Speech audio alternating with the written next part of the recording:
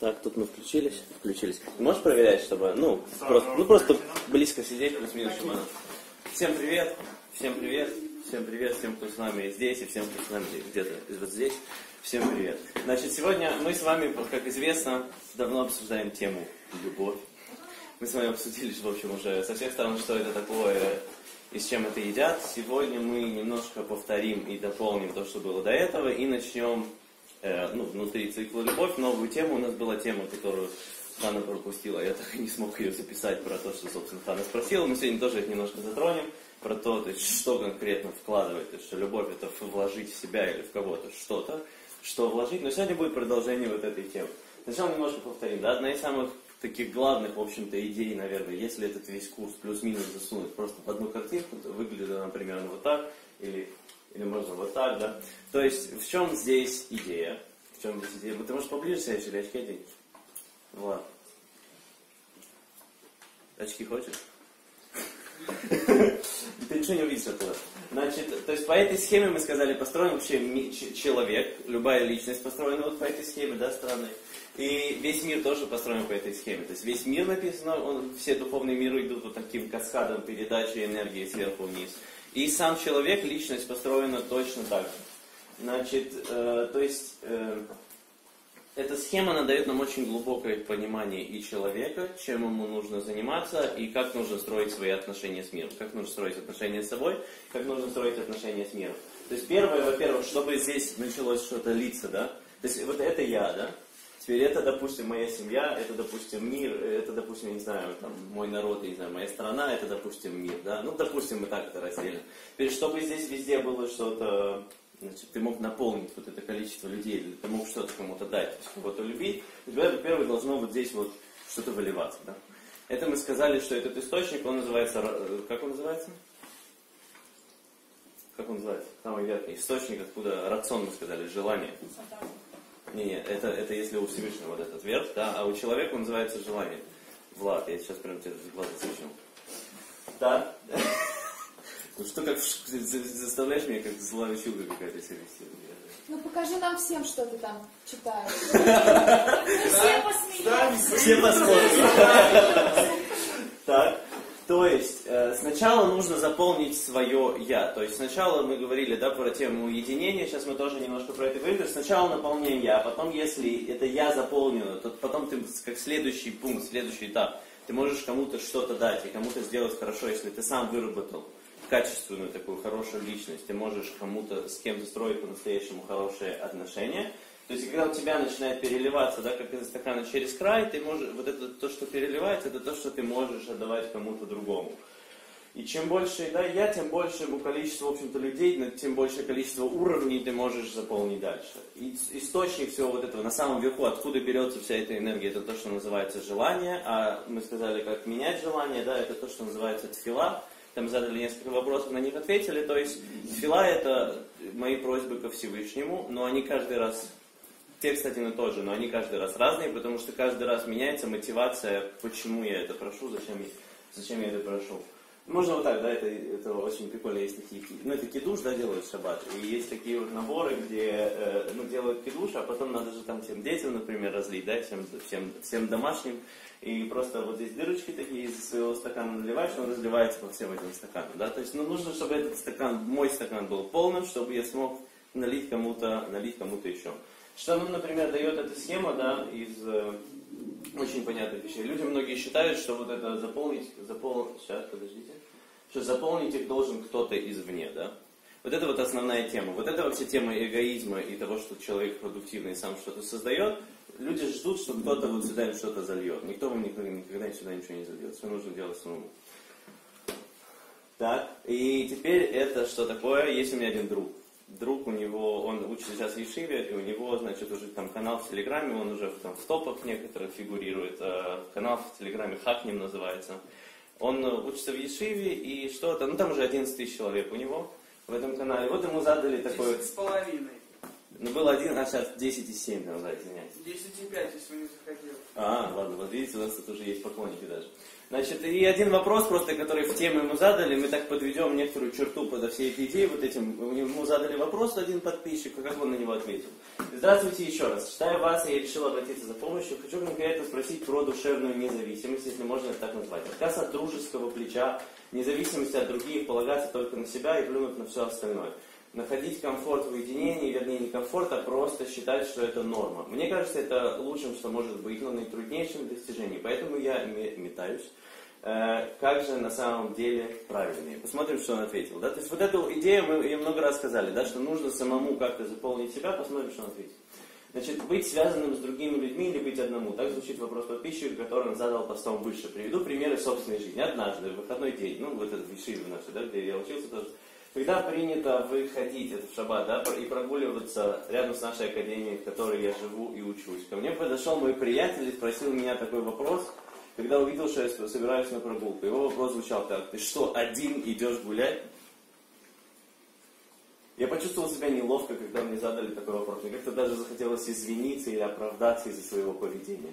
Что я не прав или что-то в этом роде. Упасть на колени и умолять не судить меня так строго. Но я не стал так шутить, но задумался, почему мне так комфортно одному.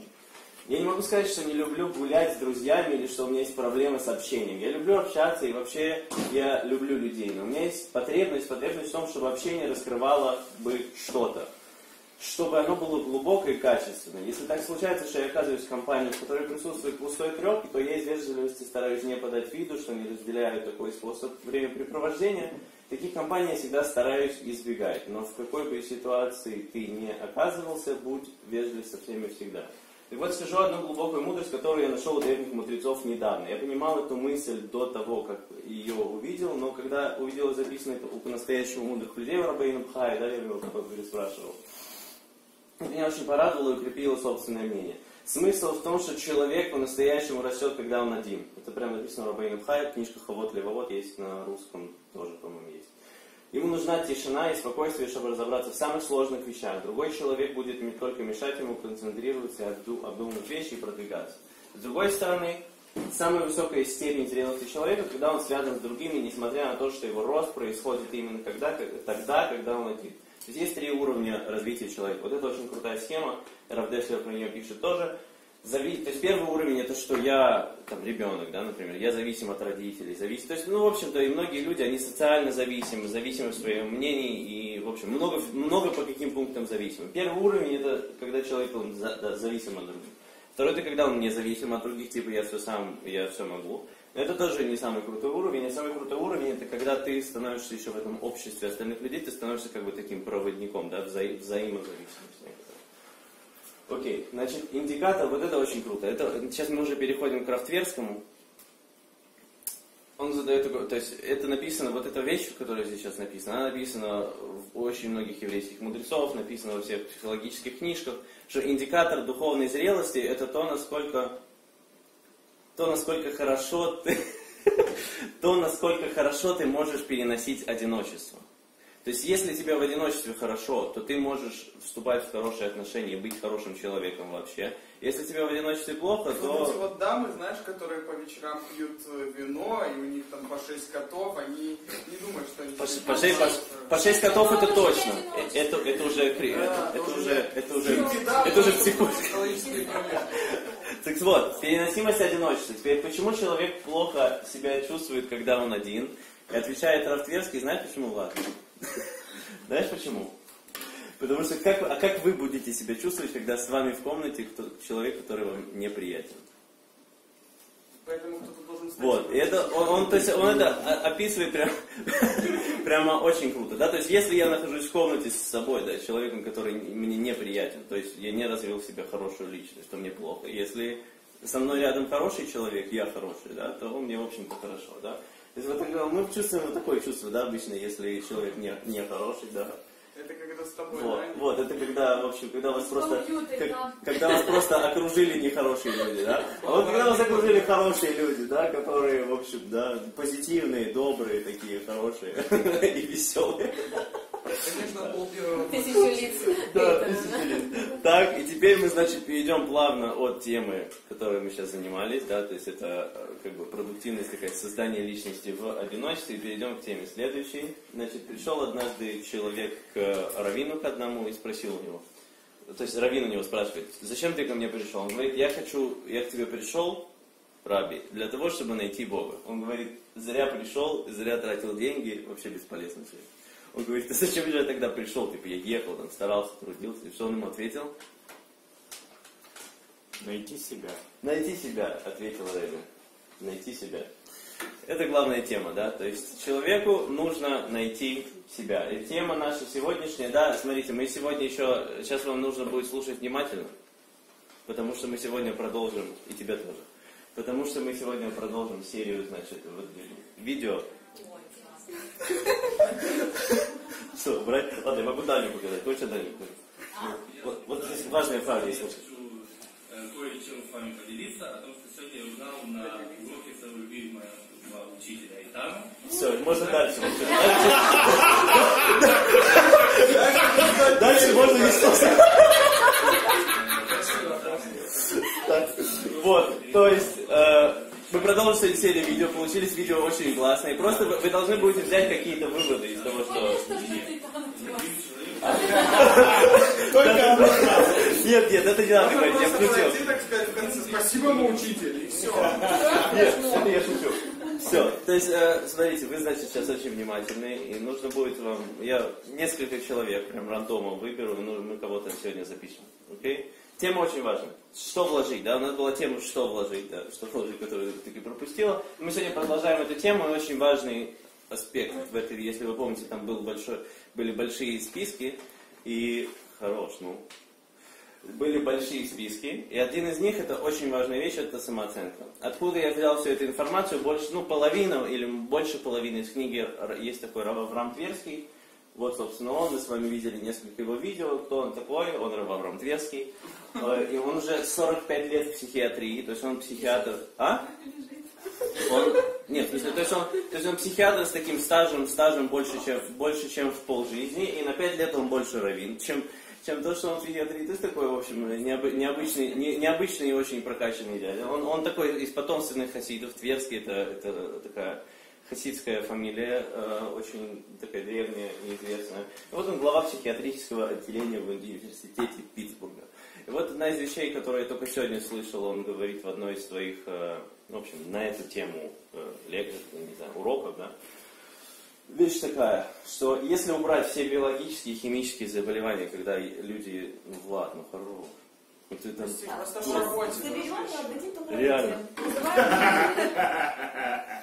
если убрать все биологические, и там видно, да, что работает? Если убрать все биологические и химические заболевания, то основной причиной проблем, ну, психи- психологических обычно является заниженная самооценка. То есть он говорит, обычно на, этом, на этой базе возникают все проблемы, большая часть проблем в голове. То есть э, одна из основных идей, которую он всегда говорит, да, что люди все, они как бы во что-то верят и как-то определенным образом чувствуют. Все чувствуют по-разному. Теперь люди глубоко убеждены, что то, что я чувствую относительно себя, это и есть реальность. То есть если я чувствую, что я не очень Красавчик. хороший, то я, то, я, то я верю, что я не очень хороший. Да? Если я, то, есть, то есть я может быть хороший, может быть плохой, но люди верят в то, что они чувствуют, и никак обычно не связывают это с тем, какими они реально являются. Да? С этого хорошо начать. Едем дальше. То есть у большинства теперь это такое, это я взял не у него, это просто меня такие на- наблюдения, да, что, ну, об этом сегодня тоже много говорят, что у большинства людей у них вообще нету самооценки. Вообще никакой. Ни низкой, ни высокой. Что у них есть тогда? У них есть только чуждая оценка. То есть оценка вся моя зависит от того, как смотрят на меня другие люди, да, понятная идея. То есть, э, э, э, вся, то есть, как общество воспримет меня, так и я буду воспринимать себя. То есть, я вот сейчас даю э, эту, да, пр- презентацию, есть два варианта, как я могу ее давать. Значит, я под, то есть, вы замечательные, сто процентов, а вот я под вопросом, и моя оценка себя, она зависит от того, как вы будете реагировать на то, что я даю. Второй вариант, это я подготовился, разобрался и так далее. Я решил, что я сто процентов, а вот вы под вопросом. И значит, если вам понравится то, что я даю, то значит, вы вообще нормальные. Нормально. А если нет, то у вас проблемы, в общем, вы, что-то, вы не разбираетесь. Это я шучу, да? То есть, в общем, можно подвязывать, но по-настоящему са- самое грамотное, как мы увидим, самооценка, это она то, что посередине, в общем, разберемся. Да, то есть, ну вот это большая проблема, да, когда человек все время подвязывает само, свое самоощущение на то, как кто-то на него отреагирует. Если я вспомнил даже притча такая, что муж с женой такие ве- ведут осла, да, вдвоем. Кто-то им говорит, ну они вообще какие-то непонятные. Типа, вот осел идет, и там женщина тоже идет. Ну, посадили бы, посадили бы кого-нибудь на этого осла. Муж сажает же- женщину на осла. да. Они идут дальше, и кто-то кто ему что-то говорит такое, ну, Подкаблучник. Подкаблу, подкаблучник или фи- фи- там, типа, она там, я не знаю, кто, она за право женщин, там, не знаю, что, что-то ей говорят, да, она, она, она слезает, он садится, Э, люди ед- едут дальше, она идет, Э, люди говорят окружающие, ну вообще, это, где это видно, чтобы, значит, женщина шла, вела осла, а мужчина сидел сверху, да. Дальше они садятся, вот такой ужас, да, садятся вдвоем, тоже идут, идут дальше. И что им говорят? Ну, бедный осел вообще-то, вообще ненормальный, ос- осла так напрягает. Да, то есть нельзя под- подвязывать полностью свое я и то, как я как бы себя ощущаю, да, мы видим это особенно из Авраама, да, на то, как, меня, оце- как оценивают себя окружающие. Теперь сегодняшнее общество, оно в основном работает так, что да, маркетологи общества там, и, и родители в том числе, они, значит, заранее решили, как, рассказали, как, как надо жить. Да? То есть нужно обязательно закончить школу. Ну, это я не буду сейчас. Школа. Значит, потом О, нужно... А? школа, о, институт. У школа? О, О, школа! О, школа! О, институт. Школа, институт, значит, зара- заработать. Заработать, заработать много денег надо, да? Потом нужно заработать столько, чтобы все время где-нибудь отдыхать. Потом нужно, значит, много красоток, много машин и много домов. И потом лучше еще яхт и, ку- и купить. Оп. А? Ну, видишь, ты говоришь, да, маркетологи говорят не так.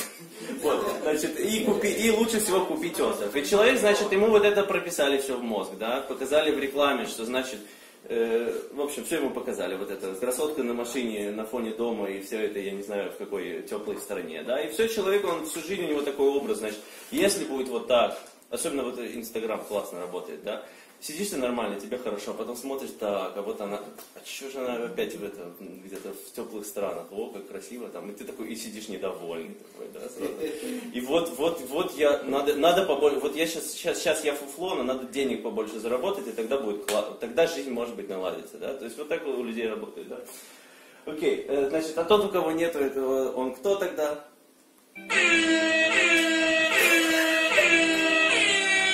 Вот кто, да?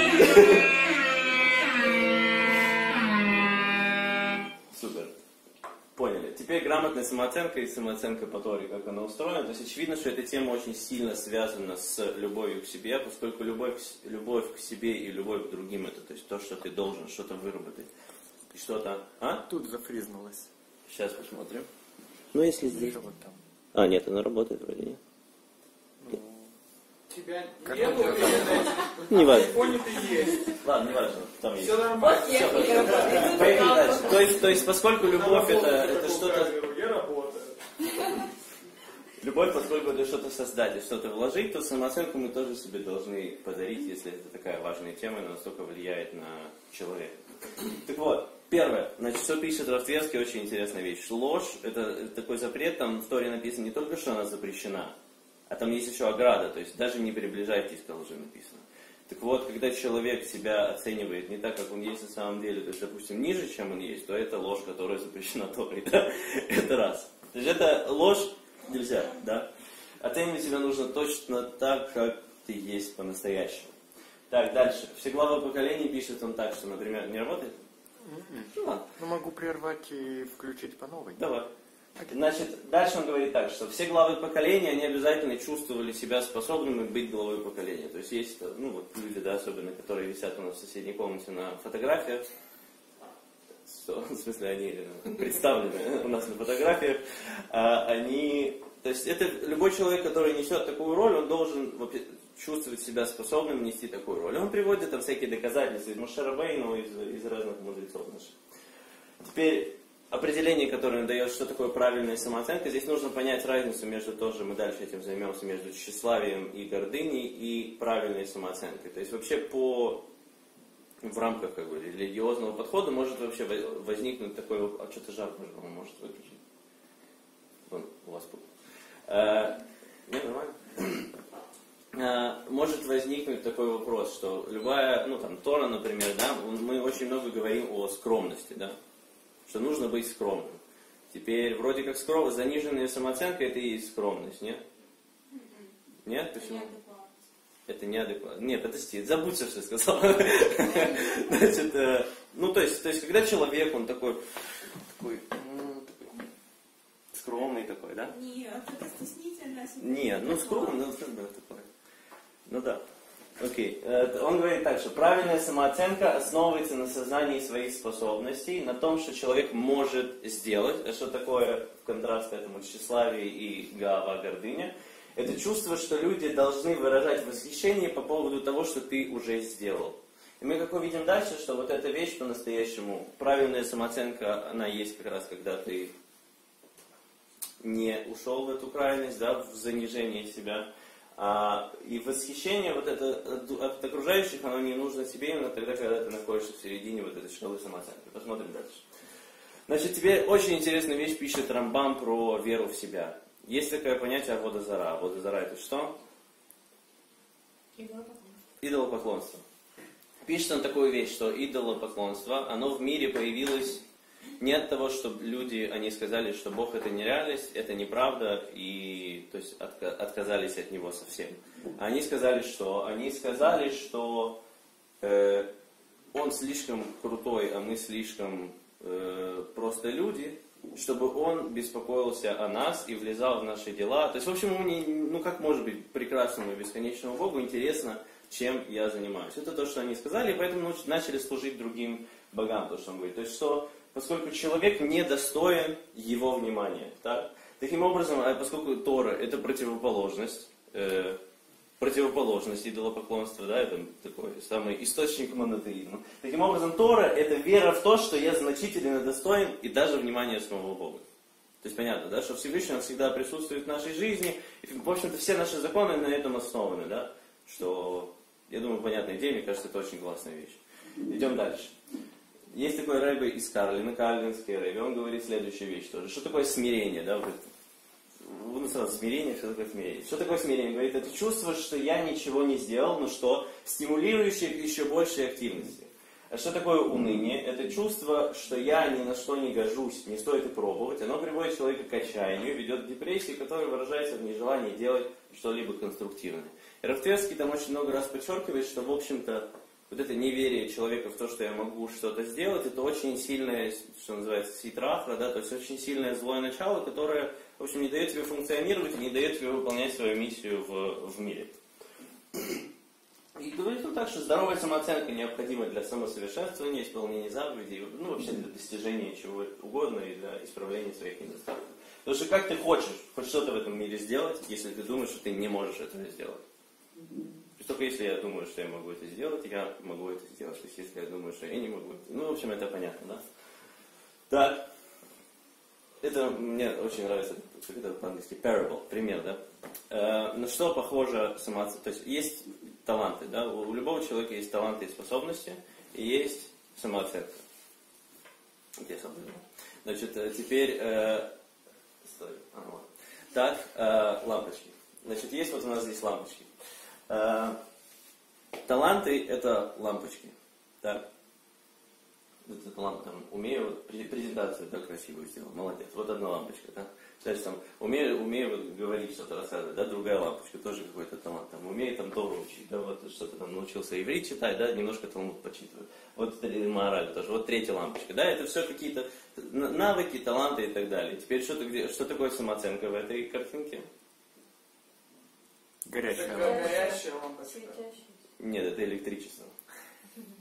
А, то есть лампочка это типа тоже не талант, ты понимаешь? Нет. Ну мы тебе говорим метафорой просто. Ты говоришь, нет, это электричество. Окей. Значит, это способности и таланты, а самооценка это электричество. То есть это энергия, которая наполняет эти таланты. То есть, если... То есть, если... Это работает вот это тоже? Работает. Супер. То есть, если у меня нету, нету самооценки, нету ощущения, что я могу это реализовать, то тогда все вот эти, чем больше талантов, да, чем больше у человека способностей и IQ, тем ему хуже. Понимаете, да, что вообще по-настоящему психические заболевания намного больше встречаются у умных людей, да. Умные люди намного больше заморачиваются и начинают все просчитывать. Очень часто, знаете, бизнес прет у тех людей, которые вообще просто не открою, значит, торговый центр, открою, и все, и понеслась, да, и тупо, тупо переть, да, а вот это так, Значит, начинается сложный подсчет такой, что пока он досчитает, неизвестно, что там случится, да? И когда-нибудь дойдет ли он до вывода. Так вот, для чем больше получается талантов и способностей, тем как бы больше нужна самооценка. То есть самооценка это вот эта энергия, которая наполняет твои способности. Теперь, если ее, она заниженная, то это все висит мертвым грузом и мешает. Если она завышенная, то что? Лампочки перегорают. Да, супер. Это, то есть, сейчас мы придем вот к этой теме золотой середины во всех темах, во всех аспектах и в самооценке тоже. Так, завышенная самооценка. Сейчас посмотрим, сейчас завышенная самооценка. А у вас видно экран сейчас, нет? Ну, у нас есть только ссылка. Мы не можем по ней кликнуть, почему? Сейчас, сейчас. Чем ты работаешь? Сейчас как-нибудь. Сейчас я вам покажу. Люди с нормальной самооценкой могут увидеть это. Это у нас клуб завешенной самооценки получается. Ну почему? Я вижу ссылку. Значит, у меня вот да. самооценка.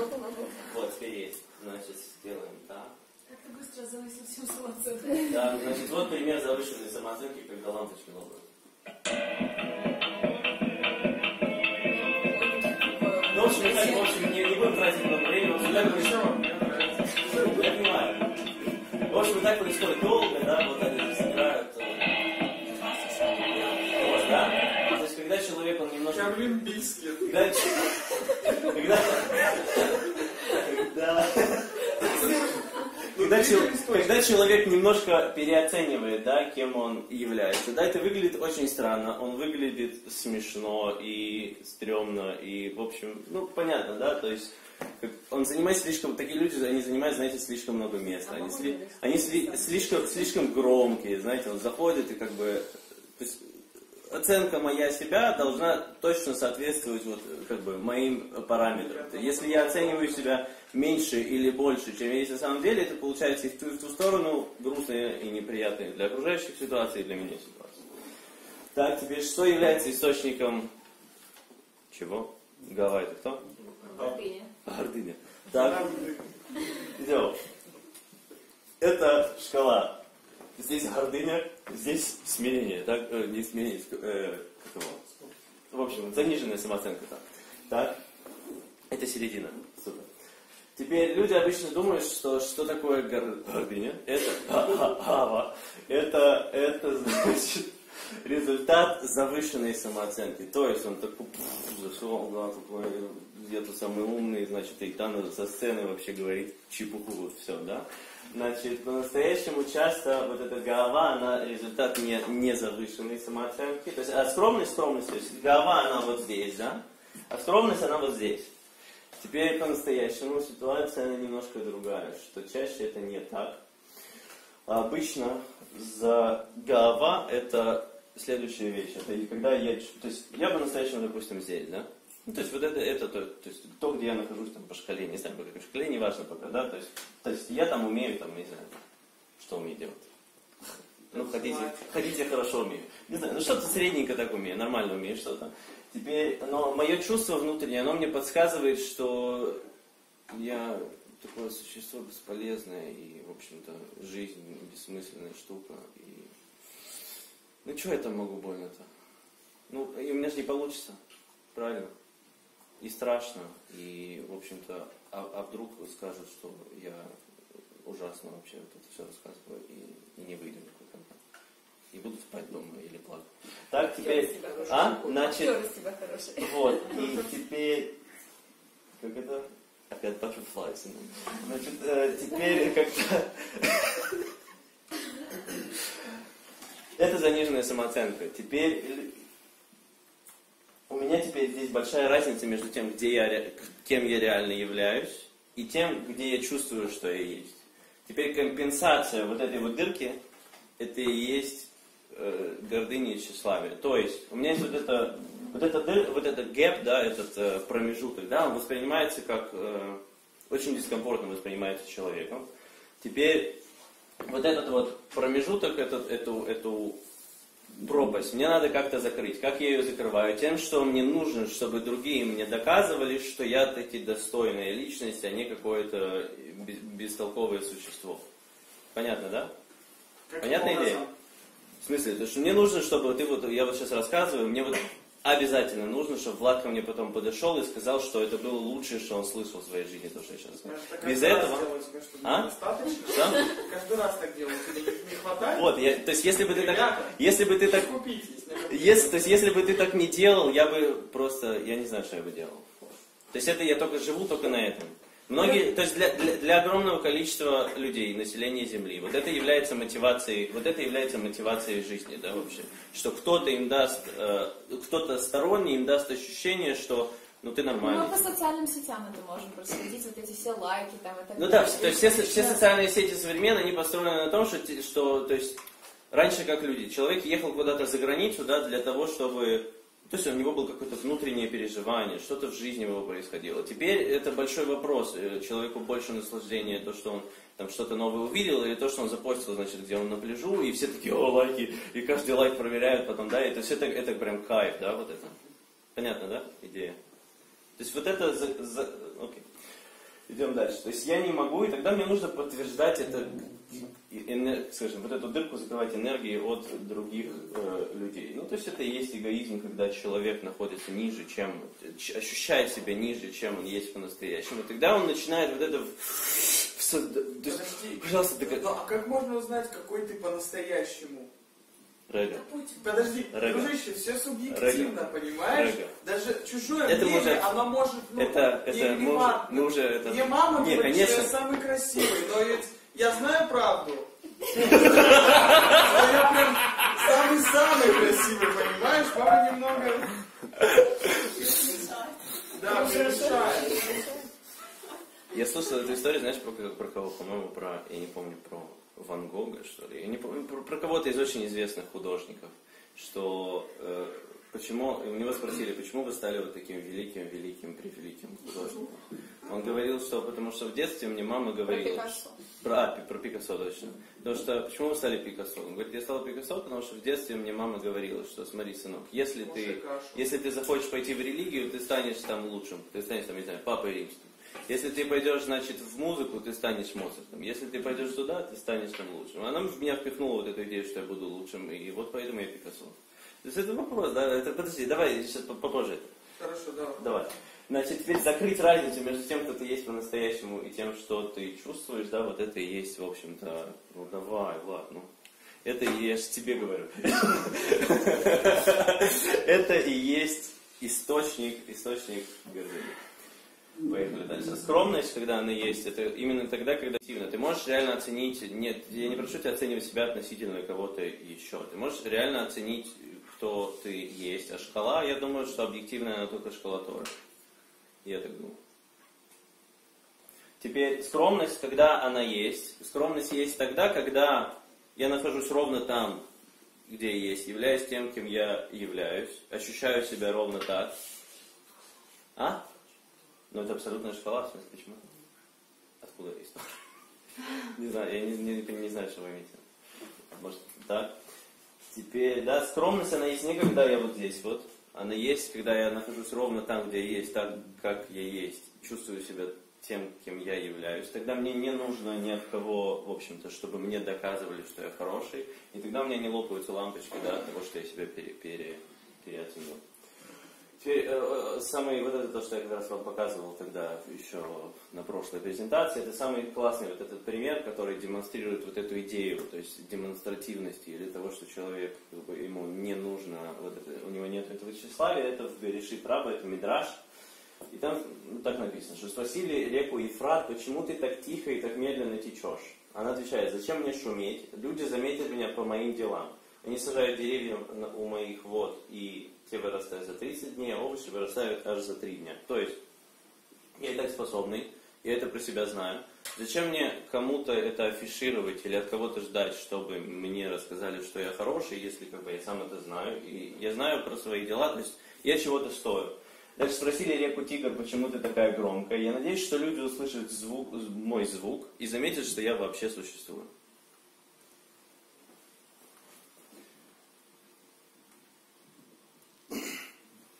Теперь 40 лет в пустыне евреи почему пробовали? Из-за заниженной самооценки. Конкретнее, конкретнее.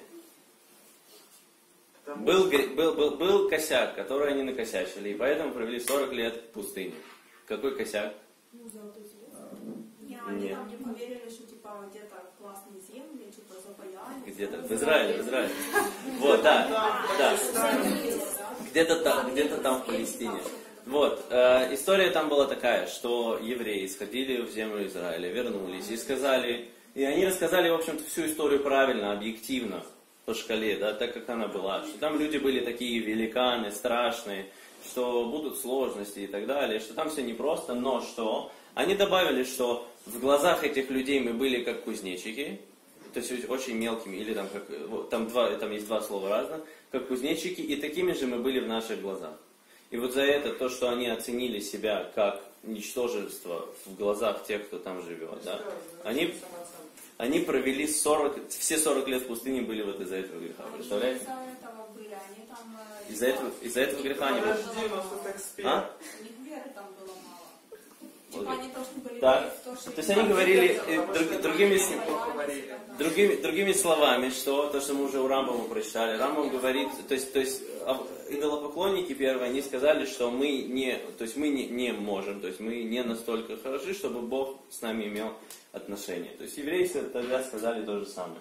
И плюс из этой фразы, что мы были, как кузи, видите, даже другим цве- цветом выделил. Это очень важная вещь вообще по поводу самооценки, что э, то есть то, как ты выглядишь, не, связь не, то есть тут обратная связь. Не то, как на меня посмотрят, такая у меня формируется самооценка. Наоборот, как я смотрю на себя, так же на меня смотрят люди. То есть, опять же, если я ухожу от этой середины, это чувствуется, и у всех начинает фонить, что человек такой себе. Но, в общем-то, люди ощущают меня так же, как я ощущаю сам себя, а не, не, не обратная связь. То есть, и это я читал в одной книжке, не помню сейчас название, что, в общем-то, неверие в себя это то же самое, что неверие в Бога. То есть евреи тогда должны были пойти в Израиль и захватить его, а они сказали, мы не сможем. На каких основаниях ты говоришь, что ты не сможешь, если ты знаешь, что Бог все может? С каких э, пор ты решил, что Он не решит за тебя твои вопросы, не поможет, и как-то все это дело не разводится? Тем более, когда ты делаешь хорошее дело, митсву важную. И- Так? Не веришь в себя, не веришь в Бога. Так, и теперь вам нужно будет идентифицировать, значит, одно человеческое качество, которое будет изображено на дальнейших картинках, да? Неуверенность. Нет. Перфекционисты. Вот. Вы угадали. Вы не представляете, у нас, у нас мы вешали вот эту доску, видите, да? У нас с Хатей просто, нам прям было больно, смотрите. Вот видите, здесь уголок, да? Здесь уголок, здесь уголок, да, какого цвета? Такого же. Это, это, это, ну это было больно. Мы даже, мы даже, даже его У нас в Украине говорят обычно, что-то Путин сделал. мы даже его прикрыли, видите. А, а причем на, пачке на своей написали прям на пачке вот этот только уголок этот сфотографирован, там эко, там ни одно животное не пострадало. Так, значит, да, вот это все для перфекциониста, для него все вот это мучительно, больно, просто, просто, просто, вот, вот, видите, просто больно, да, больно. Вот, я прокрастинирующий перфекционист, все делаю идеально, но скорее всего завтра. Прокрастинация, знаете, что такое, да? Каждый перфекционист за свою жизнь должен перестроить дом, пересадить дерево, перевоспитать сына. Так, институт... Это просто гениально, по-моему? То есть, того, чтобы точно ни один перфекционист не зашел в этот институт, да? Психиатрия, да? Э, м, Что? Институт исследования. Так, в общем, в чем плюсы, в чем минусы перфекционизма? Ну, это понятно, это тоже связано с заниженной самооценкой обычно, так? В чем, да? Типа, все хорошо делаю. Мне кажется, прям идеально. стремление к идеалу. Да. Так, минусы. Стремление Излишнее стремление. Излишнее стремление. Что они? Компенса- Заталбывают других людей, нерационально используют. Компенсация самонеуверенности. Да, да, да, вот. Вот это, вот это, в общем-то, основная вещь. То есть, сейчас, да, поехали. Значит, то есть я не двинусь с места, пока не будет гарантирован стопроцентный результат. Да? И очень много таких людей есть. То есть, если я... Вот, пом- вот здесь, наверное, можно привести этот пример. Помните, да, я такой говорил, сейчас я вам 20 слов запомню, да? Теперь для перфекциониста то, что я тогда завалился, это было бы просто, он бы просто, просто покраснел, высох и больше бы не вышел сюда, да? Теперь для... бессовестный. А? А? Я говорю, ты бессовестный, поэтому все можно. Поэтому мне все можно, да? Нет, то есть, то есть для, Сейчас я для, запомню 50, итак, для, ребят. для человека с, нормальной самооценкой, то, что он провалился, это как бы нормально. Ну, то есть, в смысле, сейчас провалился, в следующий раз получится. У него то, кто я, не подвязано на то, что он вот сейчас сделал, что у него не получилось. Любая ошибка, это, в общем-то, это путь, да, это, это способ развиваться, да, то есть, для него любая ошибка это персональная да, катастрофа. То есть, кто-то что-то сказал, кто-то не так, а вот они вдвоем что-то переговаривают и смотрят на меня. И он ну, внутри все ужас какой, да? Вот это, да. Теперь людей, сознающих свою адекватность, да, их, и их, и компетентность, их не страшит совершить ошибку. Так? И Аллаху, это очень интересная вещь, я даже мне до сих пор это удивляет, в трактате Гитин такое написано, что Аллаху узнают по-настоящему только тогда, когда... Аллаха это закон, да. Узнаешь по-настоящему только тогда, когда ты в ней ошибаешься. То есть, более того, что ошибка это, в общем инструмент познания. Потому что пока ты делаешь все правильно, ты как бы не знаешь, что есть по-другому. И когда ты один раз там ну, э, э, споткнулся где-то, да, ты знаешь, оп, сюда не дальше. да. И ты, ты по-настоящему узнаешь, как нужно, как не нужно. И не ошибается только тот, кто ничего не делает, это понятно. Да, помните, мы с пальцами это делали, да, с, с, с- Моти, да, что э, кто быстрее всего добье- добьется успеха? Кто? Вот я загадываю один из этих пяти, десяти пальцев, что это успех, да? Остальные неудачи. Кто быстрее всего добьется успеха? Тот, кто будет искать его. Тот, кто будет быстрее всех ошибаться, в общем-то, да? То есть ошибаться это не страшно, просто есть, есть как бы опыт, есть, есть тот путь, который нужно пройти в любом деле, чтобы достичь в этом, вот достичь в чем-то успеха. И проблема это тоже признак жизни, потому что если у тебя нет проблем, это значит, что ты, в общем-то, мертв, наверное, да? Так.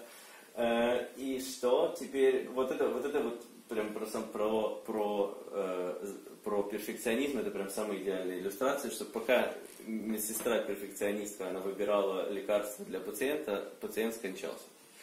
Так, вот это, вот это проблема любого перфекциониста, эта вещь нужно просто из себя изгонять, то есть и да, совершенство оно одно, поэтому вот этот крайний перфекционизм лучше оставить только Всевышнему, да, он один, это, его, это наверное, его прерогатива, да, вот пациент просто скончался, куда это искать. Первая заповедь перфекционист прокрастинатора, лучше сделать хорошо, но никогда, чем кое-как и сегодня. Окей, значит, э, главное, значит, что нужно запомнить, если у вас есть перфекционизм, done is better than perfect, да, что сделано это лучше, чем идеально.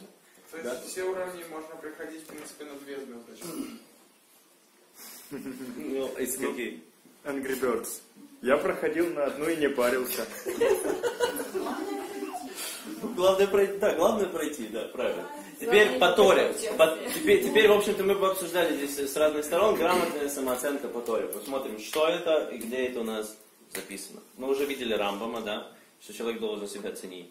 Мы видели э, там Рэби из Харлина, который говорил, что такое смирение, что такое смирение, что это что, я, что у меня что-то не хватает, но это чувство, которое драйвит меня достичь больше. А уныние это что, что я, не, я не могу и, и не смогу. Да? Вот. И теперь грамотная самооценка по Торе. Талмуд в трактате Кидуш он говорит прям это четко, где должна быть у человека самооценка, где она должна находиться на этой шкале. Посередине. Посередине, правильно.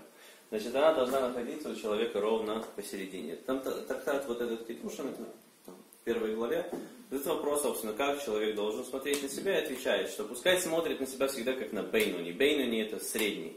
Есть, да, есть как праведник, да, есть злодей. А человек любой, где бы он ни находился, да, это может быть ответ тоже на этот вопрос, что все субъективно там и так далее, да. Даже если ты праведник, ты должен смотреть на себя как на среднего. Почему?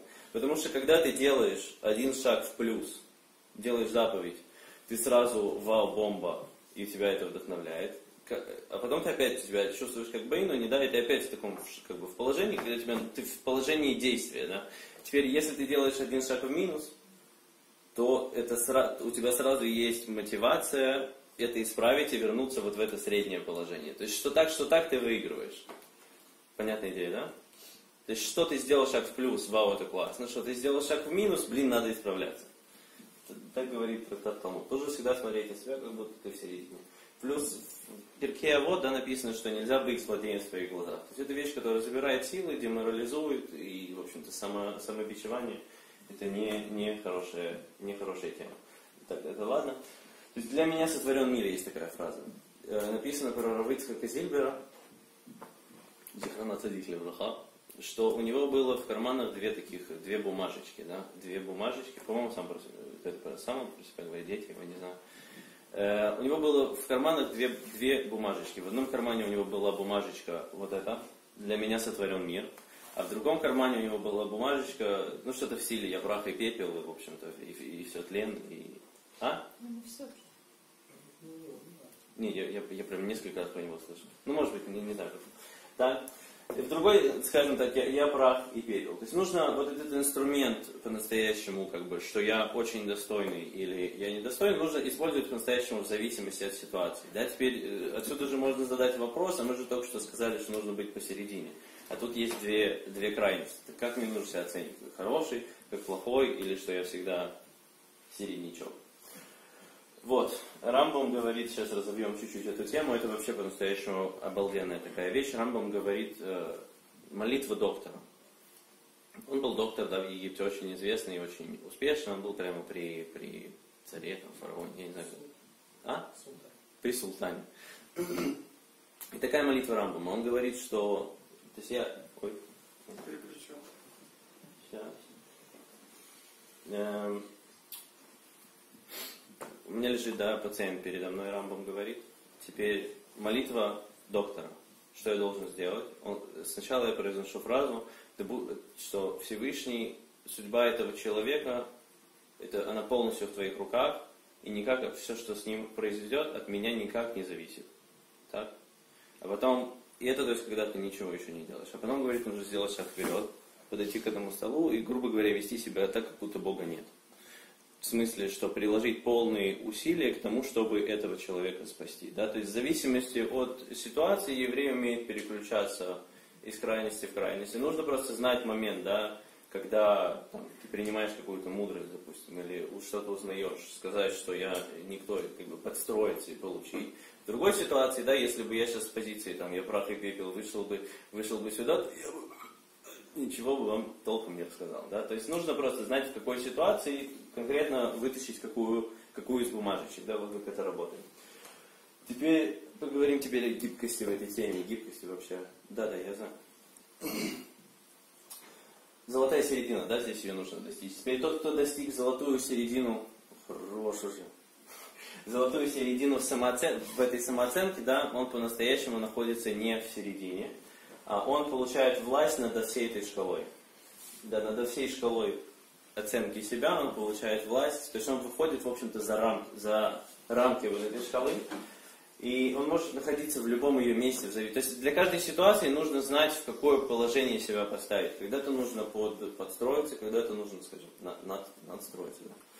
Вот. И так, идем дальше. И он использует ее то есть, в зависимости от ситуации. То есть это, для меня сотворен мир, он может сказать, может сказать, да, я, я, как, я, я прах и пепел, ничего не стою. Да, там, как говорили Моше, Авраам, известно, да, что там я ничто, я там и то же самое, да, что все в моих руках или все в твоих руках. Ну, то есть нужно по ситуации правильно выбирать, как относиться, как относиться к себе. Да? И, в общем-то, в каком-то плане это и есть вот это совершенство и похожесть на Всевышнего.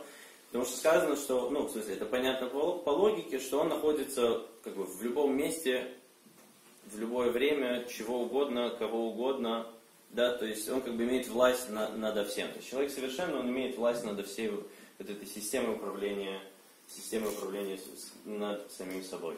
И вопрос, когда мне нужно перейти вот в эту крайность, в... Сейчас минут, а? Не, не алкоголь. Когда мне нужно перейти вот в эту крайность, вопрос, что я Ну, то есть вот это вот, да, ну, как это назвать, не, знаю, не самоуничижение, это наверное, неправильное слово. Ну, вот в это, да, то есть Смирение. От Смирение, меня ничего да. не зависит. А- а, да, от меня ничего не зависит, от меня ничего не зависит, все зависит от тебя, как бы от- отключить вообще свое эго, отключить вообще полностью себя. В каких ситуациях? То есть, когда нужно перейти в полный минус, тогда, когда, во-первых, ты хочешь что-то принять и что-то понять. Принять мудрость от более высокого источника, да, то есть, например, там есть э, очень большая тема, да, то есть, например, там, когда входит РАФ, там, встают, да, то есть, это то, что взяли в школу, понятно, то есть из уважения к учителям, но те, кто действительно это достойны, это, это раввины и те, кто уч- учат Тору. Написано так, что пусть мудрецы будут в твоем доме постоянно, и кулись в прахе их ног, и пей с жаждой их слова. То есть вот в этой ситуации, когда ты получаешь что-то, чего у тебя нет, нужно, нужно то есть написано, что просто ты как бы входишь в, в это положение, да, вниз, да, и ты, и ты слушаешь, слушаешь внимательно, как отменяешь себя, да, в Битуле есть такое понятие, отменяешь себя, впитываешь просто как губка все, что тебе говорят. Для того, чтобы это впитать, нужно включить режим просто, просто вот я пустой, чтобы что-то впитать, да, понятно. Когда ты хочешь что-то дать, нужно включить режим у меня есть что дать. И да, есть такое еще понятие шимуш талмидей хахамим, что нужно прис- прислуживать мудрецам Торы, то есть э, нужно, э, то есть написано там, например, ученики иногда там их прово- провожали там, до дома, в баню, куда-то, да, то есть просто увидеть, как они ведут себя в повседневной жизни и, и там, помогать им видеть их, их жизнь с разных, с разных сторон. Окей, давайте это полистаем. Вот, и когда ты этим наполнился, да, тогда можно включить режим такого, э, ре- режим, когда ты... То есть сначала нужно как бы прийти... То есть сначала, когда человек он приходит, например, к Торе, ты чисто просто выключаешься и просто получаешь новую информацию, которую ты вообще ничего не знаешь, и ты не знаешь ничего. Потом через какое-то время, когда ты ско- сколько ты накопил, у тебя уже есть что, что рассказать, да. И это, да, это то, что приносит тоже радость, да, то, что написано вот на цитате, как я уже много раз говорил на, на стенке, у царя Шломо, да, радуйся все дни жизни твоей, и в рамках цикла про любовь, да, радуйся все дни жизни твоей, у него написано тоже, с женой, которую я дал тебе, так, и радуйся всему благу, который Всевышний дает тебе. То есть э, наполнился, кайфуешь. Вот, теперь кто такие люди, которые, видео я вам уже показал, которые, короче говоря, то есть, ну, есть люди, которые, они не гибкие, да, они не умеют переключаться вообще ни, ни, ни в какое из этих положений, они просто застряли в одной, что там, Тут места не хватает. Значит, они застряли в одной позиции. Что, что, кто такие люди? Они просто вот, они клоуны, да, и, и они как лопающиеся эти лампочки. И вы помните, да, мы с вами вот эту картинку уже показывали, когда ты веган и 10 минут об этом никому не рассказываешь. Да, когда ты ничем не, ни- ничем не наполнен, но что-то о себе возомнил, ты выглядишь глупо, странно, непонятно, и, в общем-то, это неприятные люди. А про приятного, давайте тоже тогда пробежим это. То есть приятный человек это тот, кто пропускает через, через себя свет на, напрямую, и тот, кто умеет от- отменить себя, да, то, что, то, что Хана рассказывала раз на видео. Теперь про лузеров поговорим быстренько. Про лузеров мы поняли, да? В общем, есть э, мораль, если говорить так, что есть вообще четыре таких основных вообще ценности, да, к которым люди, за которыми люди бегут. Это мудрость, сила, богатство и почет, уважение. Так? Теперь посмотрим, значит, какая позиция, она больше способствует хорошей самооценке. Здесь есть позиция как бы, общества, есть позиция Тора. Значит, мудрость. Что такое мудрый человек? Это тот, кто много знает, правильно? Вот он мудрый, он много знает. Теперь, что говорит Перке, вот вы знаете на эту тему, кто такой мудрец? Тот, кто учится у каждого. Теперь, значит, здесь, в, в этой, в этом, вот в этой позиции, да, если я не знаю еще, то я какой? Тупой. Тупой, плохой, значит, не, недостойный. Теперь по Торе, кто такой человек? Э, тот, кто, то есть мудрец, тот, кто мудрый. Это тот, кто в процессе изучения. То есть вот этот человек, он, например, он сейчас что-то не понимает, он будет сидеть и думать, блин, а как я спрошу, ведь э, тогда все решат, что я тупой. Так, теперь вот, вот такой человек, который учится у каждого, он любой вопрос, ну, то есть, понятно, там, может, там, в, уместное для этого время, но он в любой вопрос спросит, у него не будет проблемы, что все решат, что я тупой, из-за там заниженной самооценки его и так далее. Да, он, как бы он легко спрашивает, и это позволяет ему развиваться. Дальше сила это что? Сила. Ну, физическая Сейчас сила, ну? Сила, ну, сила, власть, это управление другими людьми. Ну, то есть, то есть способность управлять другими. Да? Не, Что? Не-не, ну хорошо, не такая сила, просто, э, просто, не хорошо, мощь или что это, я не знаю. Есть, короче, там влияние, там идет речь про влияние, так? Давай, скажем, влияние написано. Все, все, все, нет ничего, влияние. Так, что это такое? Это способность управлять людьми, да? Что такое, па- что такое патория? Что такое патория? Это сила влиять или сила вообще, это управление собой. То есть вот в этой, вот в этой системе под- под- подошло, подошло, да? В, в- в этой системе, если, если я недостаточно хорошо влияю, да, и у меня нету бесконечного количества подписчиков, и я не знаю что, да, и меня не слушают толпы народу, да, то я под вопросом. Вот в этой системе, да, единственное, что мне нужно, с кем мне нужно работать, это я, а вот это, вот, вот это под вопросом. Так что бо- богатство это обла- обладание материальными, в общем, преимуществами некоторыми, так? Правильно? Нет, тоже согласен. Так, по Торе, что такое богатство, говорит эта Мишна нам? Да. То есть здесь ты опять зависишь от внешних, от внешних. То есть здесь вот это все, это ты зависишь от внешних условий. То есть я должен обладать чем-то, чтобы быть хорошим и чувствовать себя хорошим. Здесь, значит, все зависит от того, как я воспринимаю окружающий мир, в зависимости от этого мне хорошо или плохо. Уважение, это тот, кого, ну, что такое уважение, что вот, э, значит, Ты меня уважаешь? вот, ты, ты ко мне после этого подходишь и говоришь, вообще прям пф, класс было, да? Респект, уважуха, вообще супер, да? И вот я думаю, вот это, я, я думаю, вот это уважение и почет, вот это я почитаемый человек.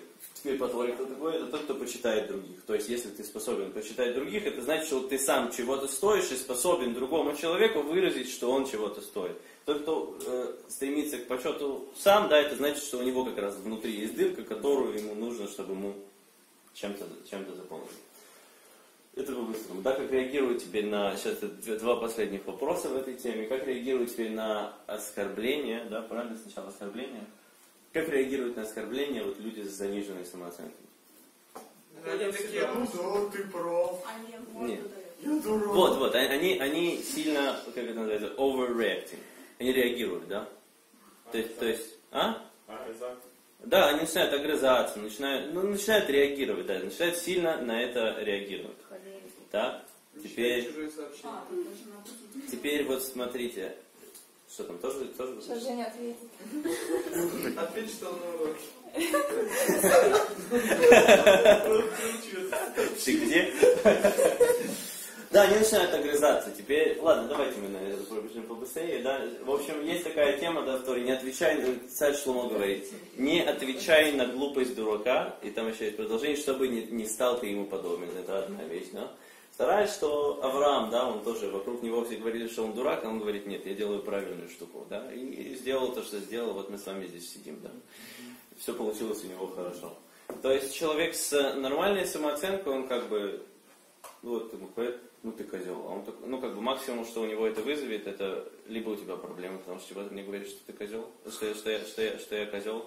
Либо, как бы, если это человек достойный говорит, то возникает как бы вопрос, ну, может быть, на- надо подумать, то есть, ну, то есть, поскольку я нахожусь в середине, я не решил, что слишком хороший или слишком плохой, я не начинаю огрызаться или думать, да сам ты козел, да? Вот, я как бы, то есть, меня его, то, что его мнение окей, вопрос, может быть, мне нужно что-то над собой поработать, то есть, может быть, Всевышний мне хотел что-то этим сказать. Теперь, как, ре- как спрашивают э, вопросы люди с низкой самооценкой? О них не спрашивают, да, они думают, что если я сейчас спрошу, то все решат, что, значит, я не очень, да. Сейчас вот, что я, а что я буду сейчас выделяться, так? Вот. Либо есть еще вто- второй вариант, что наоборот, они начинают очень сильно выделяться, чтобы как раз вот эту за- забить свою, свою дырку, да. Вот. А как спрашивают теперь люди с хорошей самооценкой? Ну просто спрашивают, да, есть вопрос, мне нужно узнать, там, это мне важно, и, ну, то есть, не нужно лезть слишком сильно, не нужно молчать слишком сильно, нужно, то есть есть вопрос, нужно, нужно продвигаться, нужно, нужно узнавать. И такой человек, он спокойно признается в, там, в недостатке знаний, да, вот эти 20 вещей не написал, ну не написал, не написал, там что, что-то от этого рухнуло, ну, да, 50 напишу. ну, ну, этого. А? Завтра 50 напишу. Дома, дома напишу, да. Так, и с радостью готов это, это все исправлять. Да? Как написано тоже в Перке, вот что Эйна Бариш, стыдливый, слишком стыдливый, он не сможет учиться. Чтобы учиться, нужно спрашивать, для того, чтобы спрашивать, нужно чувствовать себя достойным более-менее. Так, это была, в общем, у нас теория, теперь мы перейдем после перерыва к вопросу, как ее менять. Спасибо. Так, давайте финиш делаем. Я тут похож на косяча, но как раз на часть перфекционизма. Сначала сейчас я вам покажу небольшое видео, я не буду объяснять, почему я его показываю, но говорю вам, эта тема связана с самооценкой. Вы увидите, как, я думаю, как она связана с самооценкой. Поехали, да?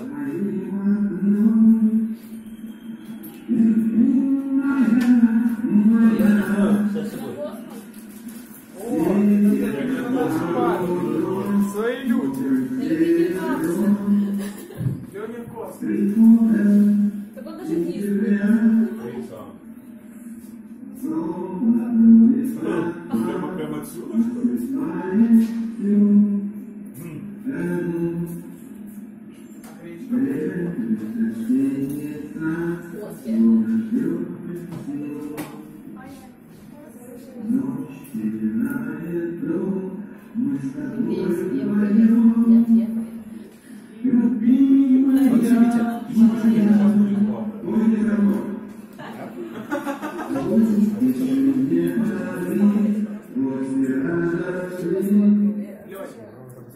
не Короче, видите, да, он, он поет, он петь не умеет, он не знает слов, он читает с этого. А рядом, скорее всего, стоит любимая как раз таки. Но только, наверное, жена. Да. Он же про Украину поет. А, Украина. Любимая Смотри, смотри, аплодисменты, следующий, следующий листочек перелистнул, да?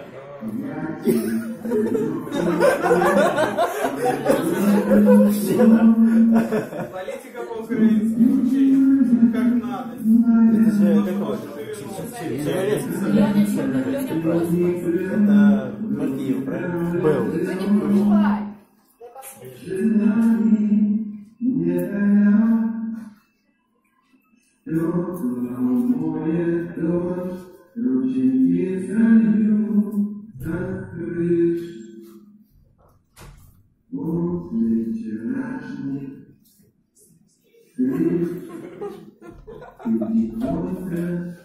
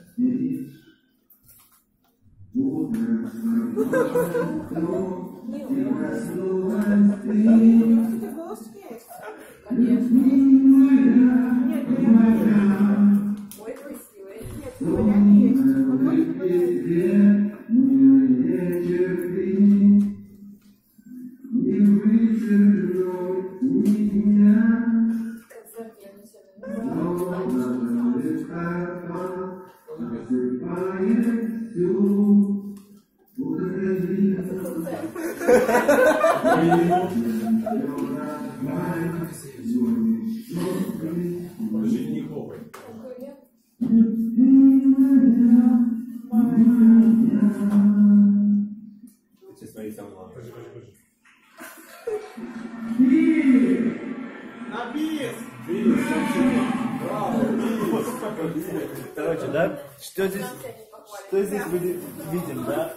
То есть, помните, в, сам- в самом начале я говорил, да? То есть есть два, два варианта вообще оценки мира, да? Что я под вопрос, я, я под вопросом, да? Вот вы сейчас слушаете, значит, улыбаетесь, вы, значит, нормально, не улыбаетесь, значит, плохо, значит, и подошли, похвалили, это замечательно, не похвалили, значит, я плохой, да, теперь вот у этого человека, да, вы видите, у него система работает ровно наоборот, то есть я сто процентов, а вот вы под вопросом, да? Теперь, если вам нравится то, что я делаю, значит вы вот так. Если нет, то значит у вас, видимо, про- у вас, у вас реально проблемы. Просто, да, у вас реально, реально проблемы. Так? Теперь к чему я все это приводил, да? Очевидно, что у этого человека, у него самооценка несколько, так сказать, в, в другую сторону ушла. Теперь, к чему я это приводил, что Рамбам говорит следующую вещь, что если у ты находишь, допустим, человек слишком жадный, и слишком отвлекается сильно, то ему какое-то время нужно стать слишком щедрым, или какое-то время очень сильно сосредотачиваться, прямо и не отвлекаться ни на секунду. Теперь, если ты хочешь достичь какое-то качество, он говорит, временно нужно перейти в другую его крайность. Наверное, с самооценкой будет работать та же самая вещь. То есть человек, у которого она сильно занижена, какое-то время начать себя как бы вести как человек, у которого она слишком завышенно, да. Вот, и потом он говорит, что, то есть это как лист бумаги, да, то есть если он выгнут в одну сторону, и ты его просто распрямишь, он не распрямится. Чтобы он распрямился, его нужно сначала выгнуть в другую сторону, и тогда его можно привести в среднее положение. То есть временно перейти в другую, в другую крайность. Это первая вещь, да. То есть временно перевести само, свое как бы, поведение относительно самооценки в другую крайность от того, если она завышенная, то как бы как будто слишком заниженная, если слишком заниженная, как будто слишком завышенная. Да, это то, зачем я вам привел э, как он, Черно... Леонид? Человек. Черновецкий. Леня Космос. Леня Космос. Коротко это. Дальше. Сейчас у нас будет три пункта, как меняется самооценка. Первое Будем это... все менять. А? Конечно, ты хочешь, хочешь поменять тебя? Да. Давай, вон, вот, здесь уже листочки лежат. Первое это достижение, да, это понятно. Что человек, он себя оценивает в соответствии с тем, что я что-то достиг. Я что-то могу или не могу. И один из самых хороших таких инструментов, наверное, ее изменить, это просто себе показать, что я уже смог раз, два, три, четыре, пять, и собираюсь сделать раз, два, три, четыре, пять. Да? То есть понятно, что в зависимости от того, что я могу сделать, то есть это как-то отражает то, кем, то, кем я являюсь, это меняет самооценку. То есть есть такие две... Давайте, давайте мы это сделаем. Может, может, может надо раздать вот эти штучки. Да. Есть здесь ручки. Сейчас мы пару списочков таких коротеньких накатаем. Давай. Заявку. Что, что? Пару заявок.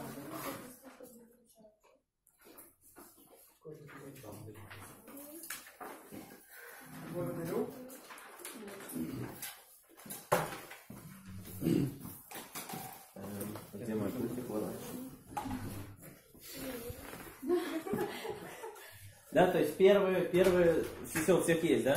Смотрите, ну, нужно, то есть для того, чтобы ее, скажем так, поставить на свое место, ее улучшить, нужно просто прописать две, две истории, да?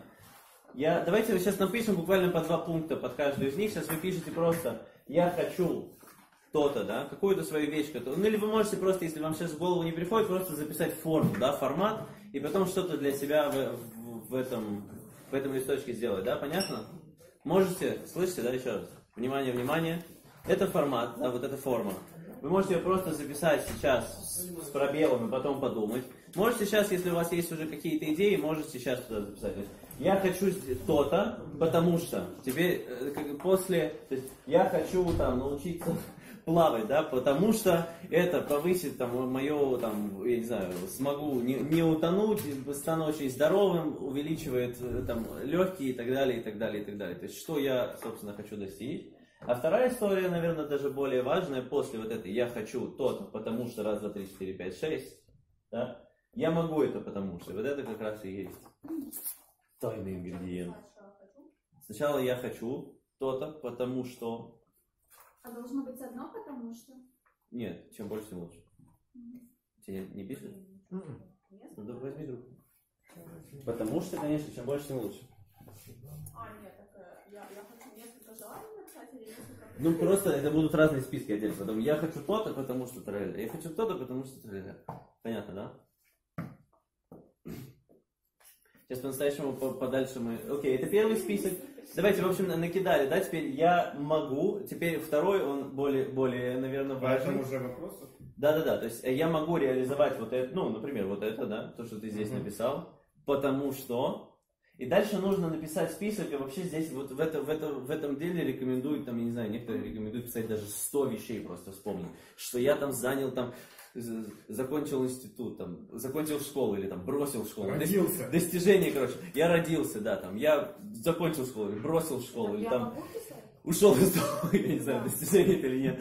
Да, это, то есть я могу вот это там, например, или ну, что-то, потому что. И дальше вот здесь вот, сюда можно поставить что угодно, да, здесь будет вот это потому что главное. Здесь будет длинный список всего, что ты можешь, да.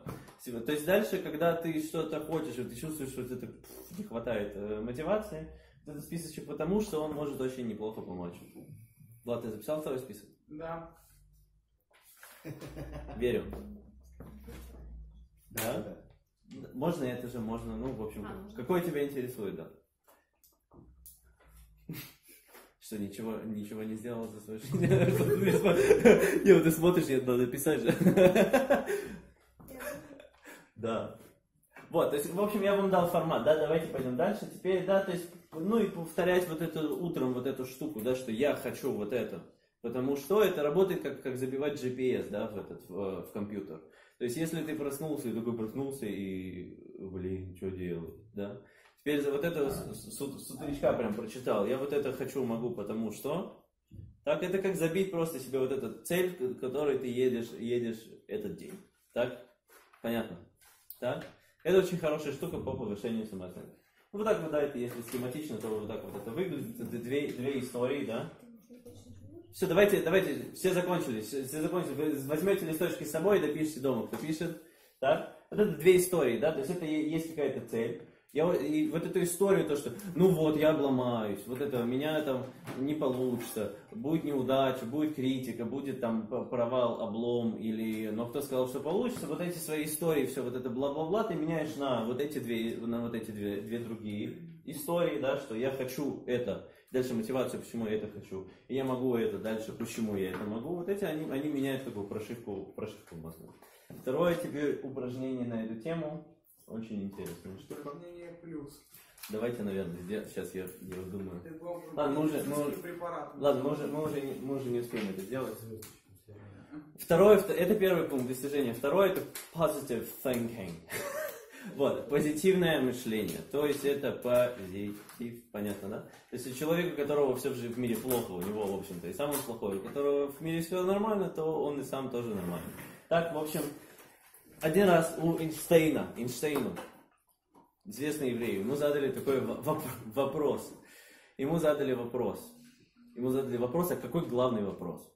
Вот такой вопрос задали Эйнштейну. И он на него ответил. Он, Вопрос. он, он- А в чем вопрос? вот, вот. У него спросили, какой самый главный вопрос? Таня, ну все будет хорошо. Ну подожди, уже давай дома напишем. Дома напишем. Серьезно. Вот. Ему задали вопрос, а какой главный вопрос в жизни? Он на него, он минут 10, так я слышал, думал. То есть он серьезно прям задумался, потому что какой главный вопрос, какой главный вопрос, это очень серьезный вопрос. И сказал, что самый главный вопрос в жизни человека, это то есть ответ на вопрос, Вселенная, она вообще дружественная или, или нет. То есть ты этот мир воспринимаешь как хороший или как плохой. В зависимости от этого будут все твои выборы, весь твой подход, все твое восприятие, все твои отношения. Все будет строиться в твоей жизни в зависимости от того, как ты посмотришь на эту жизнь. Да? И есть второй еще интересный тоже, он дополнит, тоже ему же задали, по-настоящему говорит Рамбан в комментарии на Тору. И у него, он сказал такую вещь, что Эйнштейн тоже, что э, есть только два подхода к жизни. Или сказать, что чудес нету, или сказать, что все чудо.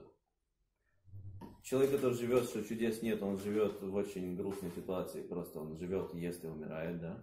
Человек, который живет, человек, который... Цикл прост. Чи- Цикл прост, да. Да, и, и... Инструкция по человеку, да, поешь, посмотри. Рамбан, Рамбан говорит, что чело- э, он прям ровно это и говорит, да. Рамбан говорит, что человек, который не воспринимает все, что с ним происходит, как э, чудо, у него вообще нету удела, то есть он по-настоящему не входит в Тору Моше, да. То, то есть тот, кто имеет удел в Торе, это тот человек, который воспринимает вот так вот мир. И вообще вот так воспринимать мир, это просто ты всегда в таком состоянии легкого офигевания такого, да, позитивного. Что реально все чудо. То есть я проснулся, я есть, это есть, ноги есть, руки есть, да. То есть вопрос, как ты будешь себя воспринимать, да. То есть есть люди, которые себя своим восприятием мира делают э, инвалидами, да, то есть есть Ник Вуйчич, да, он инвалид, но он своим восприятием мира себя сделал счастливым человеком, потому что рук нету, но жизнь есть, да, прикольно. А Эти такие люди, руки есть, ноги есть, жизнь есть, такой, ну вот Феррари нету. И все, и инвалид, да, то есть это хуже, чем быть без рук, без ног, реально, я так думаю, да. Вот, что Вуйчич, он пастырь какой-то? Он, он, у них, э, они там протестанты, причем такие, кто говорят, что это, что он не прям бог-бог, а он такой, типа, ну, типа, Ну так себе. учитель такой, вот такой важный учитель. Ну, такой это, это, ним это вообще, это прям это, это, вообще- это лучший расклад. Так, дальше. Э, В общем, давайте мы это быстро пробежим. Э, Вот это классная тема. Значит, было две группы крыс, да, взяли две группы крыс и две группы студентов. Одной группе студентов... Студенты умерли, нет. Значит, две, группы студентов. И одним студентам сказали, в общем, обеим группам сказали дрессировать крыс, только одним студентам сказали, что это породистые крысы, а другим сказали, что это обычные крысы. Кто лучше, значит, натренировал этих крыс, обучил там чему-то там сидеть, стоять? Те, кому сказали, что они породистые. То есть, вопрос, то есть то, как ты воспринимаешь мир, это реально влияет на результаты, на результаты в этом, в этом самом мире. Да? Это еще один интересный эксперимент, но, в общем, быстро его скажу. Да, была газета, сказали, вызвали людей, которые, то есть написали, вот люди, которые считают счастливчиками и считают себя неудачниками, нужно, чтобы пришли на этот эксперимент, они пришли, им дали газету и сказали по этой газете смотрите, по этой газете смотрите только картинки, да. И, в общем, люди листали и считали количество картинок, которые есть в этой газете. Так вот, все неудачники не заметили надпись в, одну, в одном месте этой газеты. Там была надпись вклеена, что если, если, если вы видите эту надпись, то подойдите к тому, кто проводит эксперимент, он вам даст 100 долларов. Так вот, все неудачники, они, значит, те, кто считали себя неудачниками, они увидели только картинки. А почти все, кто счастливчики, они увидели вот эту надпись тоже. А как они измерили, типа, перед экспериментом всех спросили, вот как, кем вы себя считаете? Не, они, они как бы как-то 10 так вот, лю- люди, которые, не, не, нет, они как бы так людей как-то составили, то есть те, кого они привлекали, они писали, вот вы считаете себя счастливчиком, пойдемте. Так, теперь этот подход в Торе посмотрим. Да? Здесь, э, коли- то есть источников, то, что я здесь перевожу, это просто капля, капля в море. Из того, что относительно позитивного подхода, то, что мы считаем. Первое, это Патеях это Йодеха, написано в молитве. Там есть один раздел молитвы, где написано, что если ты прочитал вот это без намерения, то ты, в общем, попал, и нужно все перечитывать. Там написано так, ты раскрываешь свою руку и насыщаешь все живое по своему желанию. То есть, иными словами, такой принцип, то есть я должен воспринимать мир, как будто он переполнен желанием Всевышнего, и просто все, и все классно. Короче, да? Так, дальше. Написано много где и много раз. Служи Всевышнему в радости, принимай всех с радостью, написано в Пепево. Тоже два, два раза. Написано великая заповедь быть в радости. Эйзе, написано Эйзе Иш Хафец Хаим, там написано в, у царя Давида. Кто человек, который жаждет жизни, тот, кто всю свою жизнь хочет видеть добро. То есть ты, короче, ты, если ты в каждой вещи видишь пол, полного стакана, то ты живой. Если видишь пол, мер- пол пустого стакана, то ты мертвый, да? Понятно? Теперь он продолжает дальше. И удаляй, чтобы к этому приблизиться, к этому идеалу, удаляй свои уста от зла и не произноси плохих вещей. То есть ты даже не должен произносить вот эти ограничивающие плохие вещи, и должен, твоя речь тоже должна быть ну, наполнена хорошими, хорошими словами. Еще раз эта фраза переводится? Э, вот это, или Да. кто человек, э, это Ха- Ха- Хафцхайм, он отсюда взял, в общем-то, вот его книга так называется, про Лошонара. Кто человек, который жаждет жизни, тот, кто все дни своей жизни стремится видеть добро, то есть он стремится видеть хорошее в этом мире. Дальше Самаев Бафилко мы с вами много раз изучали, продолжение сейчас я не буду объяснять. И, в общем-то, в Торе у нас есть лучшая перспектива из возможных, потому что в рамках этого мира мы, в общем-то, ну, в общем-то, что, мы гнием дольше, чем живем, я извиняюсь, да? Вот, а в, рам- в рамках, да, извиняюсь за подробности, да, в, в рам- в рамках, в, в рам- в рамках Торы все только начинается. Так, то есть это, в общем-то, в, одно- в- в первой системе бесперспективняк полный, да, во второй системе лучшая перспектива, какая только может есть. По-моему, это очень позитивно. Так, и теперь цель творения, да, это абсолютное добро, и сам Всевышний это тоже абс- абсолютное добро. Это еврейский подход, да. Если что-то тебе кажется недостаточно добрым, ты просто плохо смотрел. Так. Дальше. Теперь упражнение на эту тему, это вот эта классная штука. Теперь этот, как это флешмоб называется? Всем закрыть глаза. Даже, даже я. Всем закрыть глаза. Теперь вам нужно вспомнить человека, который вызывает у вас, Кирилл, тебе тоже, который вызывает у вас чувство, знаете, очень большого уважения, даже, может быть, чуть-чуть, можно сказать, я не знаю, трепета, да, ну вот очень, вы прям очень уважаете вот этого человека, он вызывает у вас вот это человечище, да, кого-то, вот можно меня представить. Вот. Вот. Да, пожалуйста. У меня идеальная самооценка, я самый скромный, так? Значит, все, закрыли глаза, давайте еще. Теперь представить этого человека. Вот, вот это чувство, которое вы ощущаете, вот, то есть у меня там есть несколько рабов таких, там есть несколько людей, которые, вот, ну, прям, вот это да, вот это человек, да, вот это, ну, то есть идеал такой некоторый. А теперь вот это вот чувство, вот этот поток, который идет от вас к этому человеку, просто направить на себя. Такие лампочки включаются сразу, да, чувствуете? Немножко свет загорается. Вот, это очень классная штука. То есть это перенаправить. То есть у всех есть вот этот скилл хорошо посмотреть на что-то. И вот этот просто, вот этот луч берешь и перенаправляешь на себя, на себя внутрь. И это, то есть то, что, то, чем можно поднимать, поднимать самооценку, очень классная такая внутренняя, внутренняя медитация, скажем так. Так. И второе, вот это, давайте просто сейчас запишем, потому что мы по времени не вписываемся. Второй, еще один список, который нужно сделать, это э, там есть, например, такая книжка, называется «Мозг. Инструкция по применению», по-моему, там.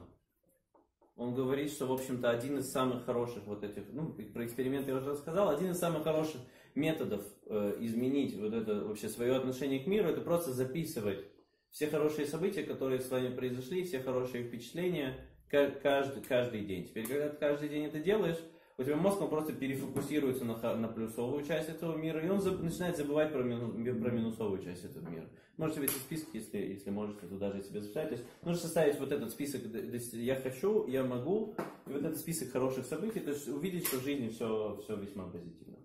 Так, и третье, и в общем-то самое главное, это self-identity. Это самоидентификация, как я воспринимаю себя и кто я такой.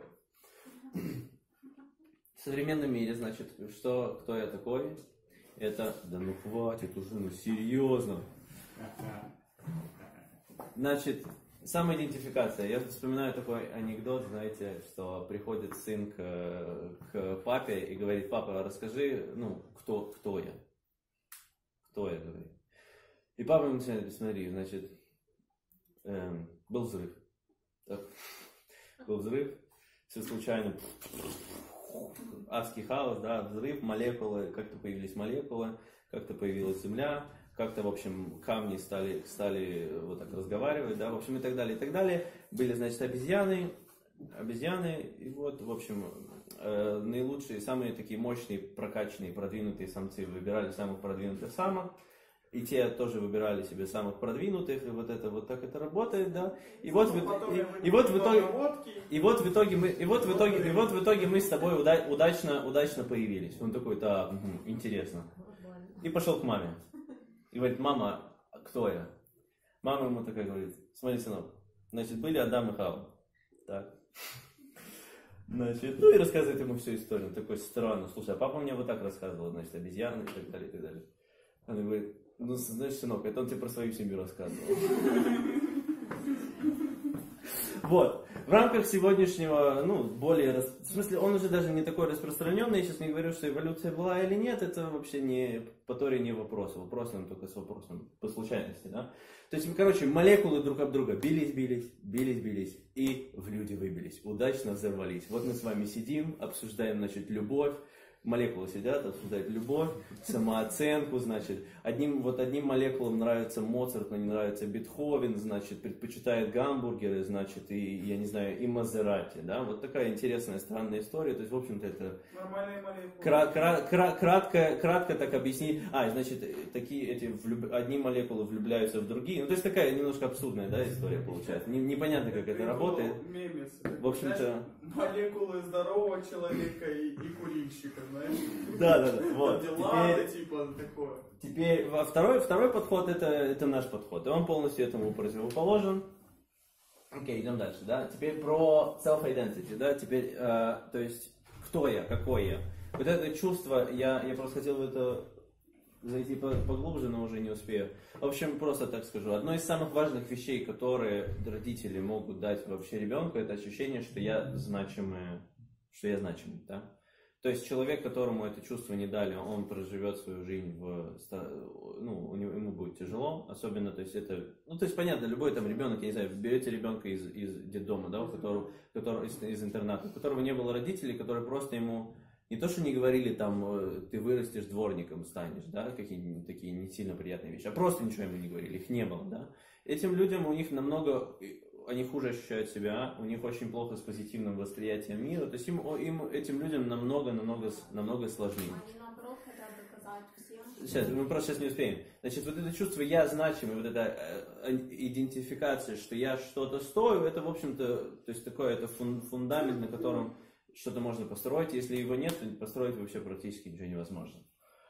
Так, дальше, вот это self-identity, да, то есть это высокие цели, да, то есть мне нужно поставить, для того, чтобы была нормальная самооценка, я нормально себя воспринимал, нужна высокая как бы планка, да. Эм, то есть у евреев самая высокая планка, какая возможна, да, из, существующих. Это я, я хочу быть, стать единым с самим, самим Господом Богом, да. Теперь, если у меня, значит, если я молекула, и, значит, э, моя цель это, значит, только размножаться и увеличивать количество молекул во Вселенной, да, причем перегонять одни в другие, да.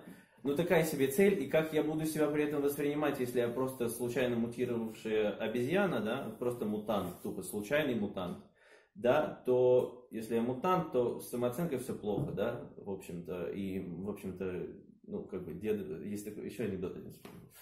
Значит, летят, летят, летят рядом, знаете, религиозные, нерелигиозные евреи такие в самолете из Израиля, там, я не знаю, из Америки в Израиль. И он такой нерелигиозный, очень сильно не любит религиозных.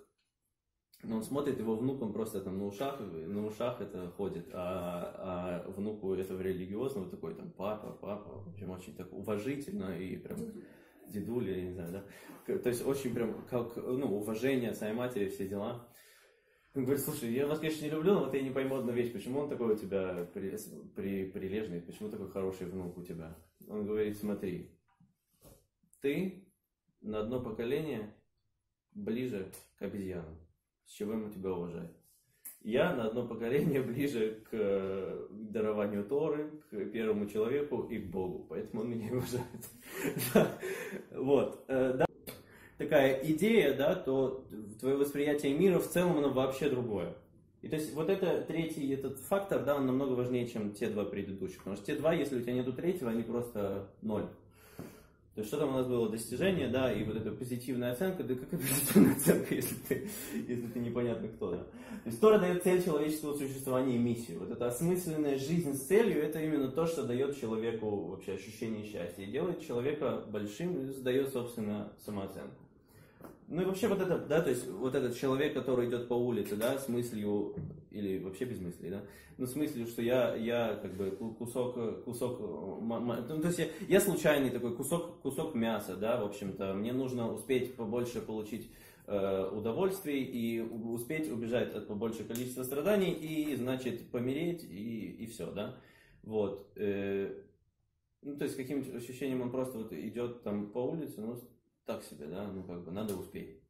Вот, теперь человек, который идет с мыслями, что как бы я там принадлежу к народу Бога, и то есть мысль, идея, то есть со, со мной Бог, да, я не знаю, что может быть сильнее этого для самооценки, понимаете?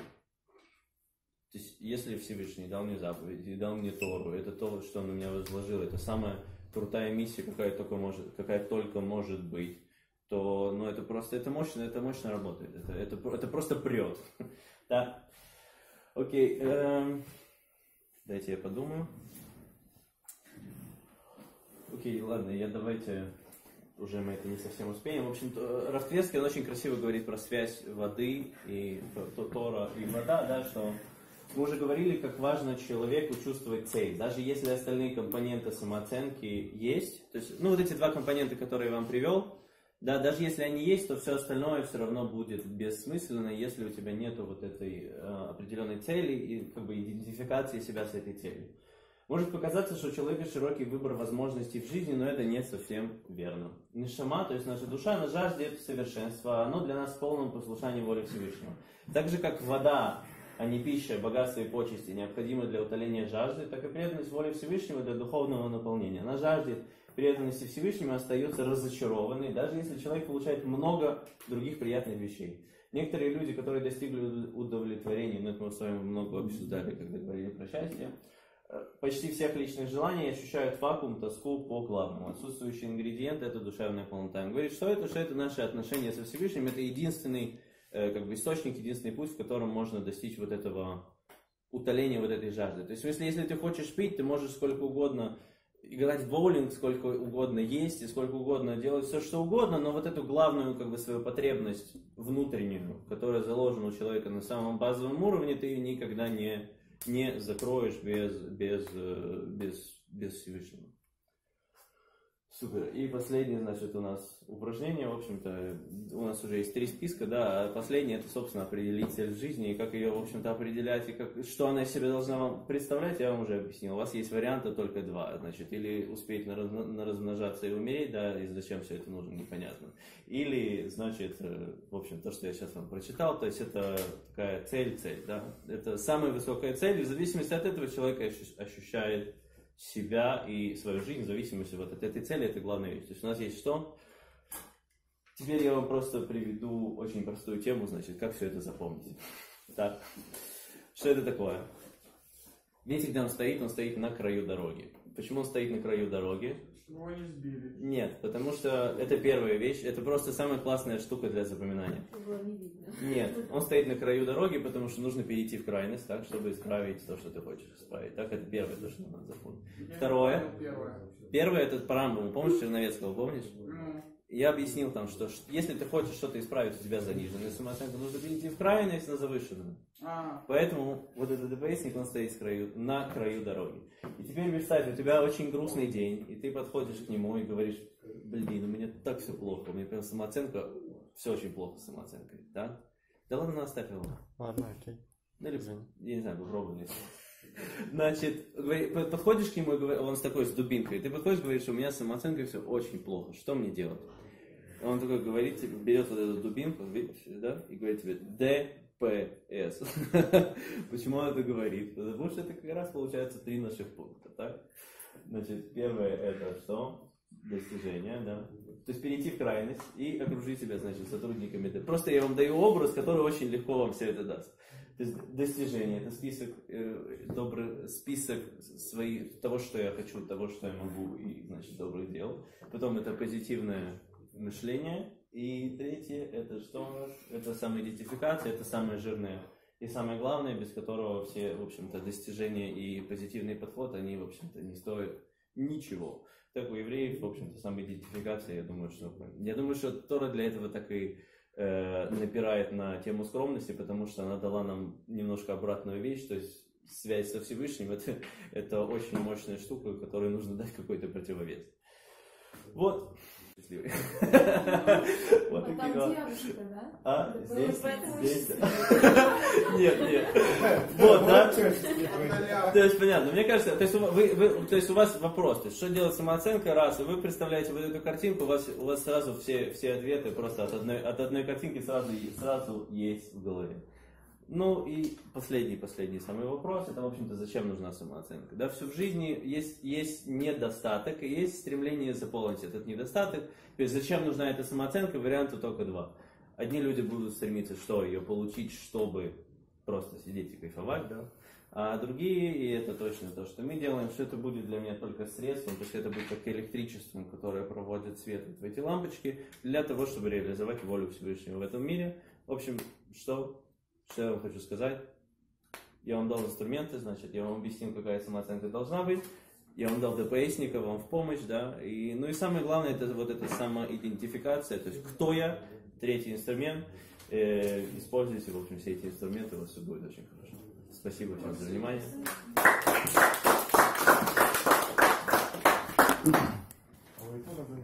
Ребят, буквально пару слов. Евгений у нас сейчас э, в гостях известная пара э, Равлеви и, и его супруга Рика Витальевичи. Случайно. Случайно, не случайно.